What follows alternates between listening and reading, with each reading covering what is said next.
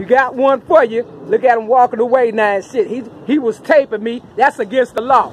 He was sitting there taping me.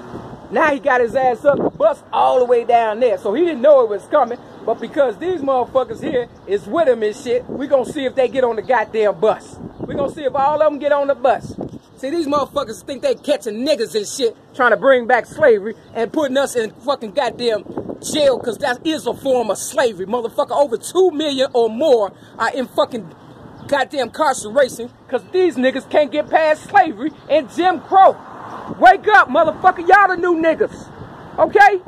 It's not gonna be a white society. Now, we gonna see if they get on the goddamn bus.